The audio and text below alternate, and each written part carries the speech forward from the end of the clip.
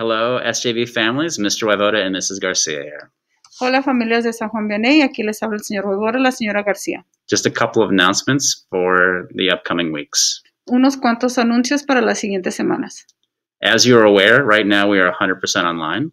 Como se han dado cuenta, ahorita estamos 100% en línea.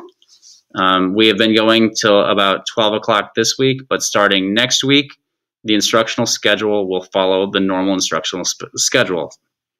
Um, ahorita hemos estado hasta las 12 del mediodía. A partir de la semana que entra, iremos al día completo. This will mean that the students will have online specials and lunch breaks as well. Significa que los estudiantes tendrían sus clases especiales y los, el lonche también. Um, the next update of whether or not we will return to hybrid will be next Thursday after the Maricopa County School Metric Update.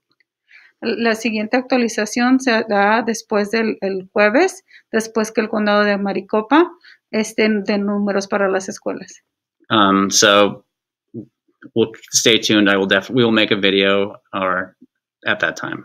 Ah, vamos a hacer un video en ese tiempo y les haremos de saber. I want to thank you all for your patience Muchas gracias a todos por su paciencia and your understanding y entendimiento during this difficult time. durante este tiempo tan difícil.